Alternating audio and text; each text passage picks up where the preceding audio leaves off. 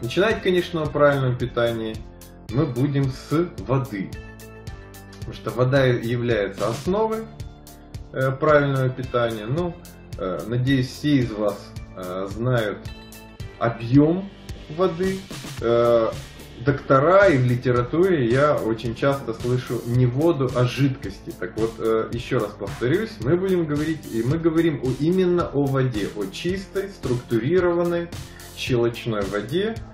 Э, объем воды, который вы должны употреблять в течение дня, он должен составлять около полутора литров. Естественно, летом э, воды нужно больше,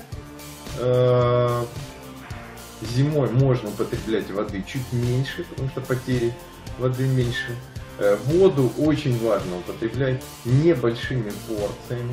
Вода должна быть не холодная, не прохладная, так как такая вода будет вызывать спазм пищеварительной системы, она будет хуже усваиваться, э, нарушать э, функцию рецепторов пищеварительной системы. Поэтому воду мы должны употреблять теплую, ну, может быть комнатной температуры. Объем воды около полутора литров. Основную часть воды употреблять в первой половине дня.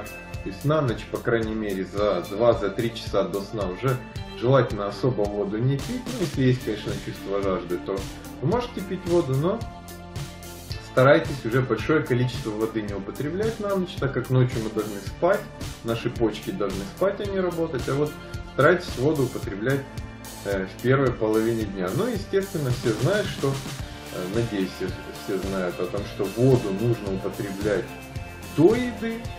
Э, оптимальный прием воды где-то за 15, 20, 30 минут до еды.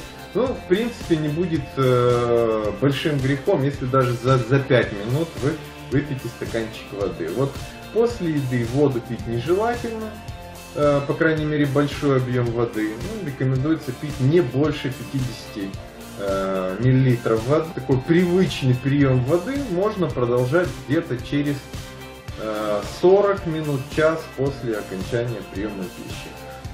Многие, наверное, возразят о том, что как только я поем, у меня сразу возникает сильное чувство жажды. Вот на это я могу ответить, что, во-первых, это возникает из-за того, что вы не пьете, Воду в достаточном количестве до еды. Во-вторых, это признак того, что вы неправильно питаетесь. Потому что когда идет чрезмерная пищевая нагрузка, то вот чувство жажды после приема пищи это один из признаков того, что вы употребили э, несовместимые продукты, либо переели слишком большое количество э, мяса съели или какой-то мучной пищи непосредственно для вас. И жажда, э, сильная жажда после приема пищи свидетельствует о резком закислении э, плазмы крови, других физиологических жидкостей организма и о том, что у вас происходит нарушение гомеостаза. То есть это как раз и есть признак неправильного питания.